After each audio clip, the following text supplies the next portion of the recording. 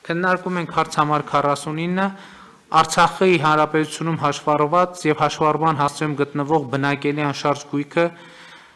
սեպտեմբերի 27-ին Արցախի հանրապետության դեմ սանձազերծված պատերազմի պատճառած ավերածությունների հետևանքով կամ այլ պատճառներով կորցրած քաղաքացիների աջակցության միջոցառումը հաստատելու մասին հարցը։ Զեկուցող աշխատանքի եւ սոցիալական հարցերի նախարար Մեսրոպ Առաքելյան։ Խնդրեմ, պարոն Առաքելյան։ Շնորհակալություն, պարոն վարչապետ։ Այս միջոցառումը նույնպես ձեր կողմից հրապարակված ճանապարհային քարտեզի շարքից է, մասնավորապես վերաբերվում է Արցախի հանրապետության այն քաղաքացիներին, ովքեր պատերազմի հետևանքով կորցրել են իրենց բնակելի տները ավերածության արդյունքում, այսինքն մենք այս բանին ունենք մի գործող միջոցառում, որը վերաբերվում է այն քաղաքացիներին, ովքեր կորցրել են իրենց բնակավայրերը, այս միջոցառումը այս միջոցառման շահառու են հանդիսանալու այն քաղաքացիները, ովքեր պատերազմի հետևանքով տեղի ունեցած ավերածությունների արդյունքում կորցրել են իրենց տները, միևնույն ժամանակ ուզում եմ շեշտել, որ բացի այդ ավերածությունների արդյունքում կորցրած տներից կան նաև մի փոքր հատված, ովքեր այս պահին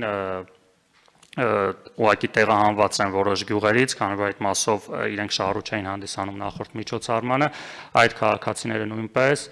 հանդիսանալու են, այսինքն բոլոր այն քաղաքացիները, ովքեր այս պահին ճունեն բնակության վայր Արցախի հանրապետությունում, հանդիսանալու են շահառու գործող միջոցառման կամ այս միջոցառման։ Այս միջոցառումը ենթադրում է յուրաքանչյուր անձի գծով 250.000 դրամ աջակցության տրամադրում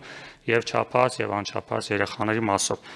առաջարկությունների մասով մի փոքր նկատառում մարդու իրավունքների պաշտպանի գրասենյակի կողմից ստացել ենք որոշ մեկնաբանություններ, որը ժամանակի սղության պատճառով ներառված չի ամփոփաթերթում։ Մի մասը վերաբերում է գործընթացին, միջոցառման կարգը հաստատելուց հաշվի կառնեն նաև այդ առաջարկները։ Շնորհակալություն։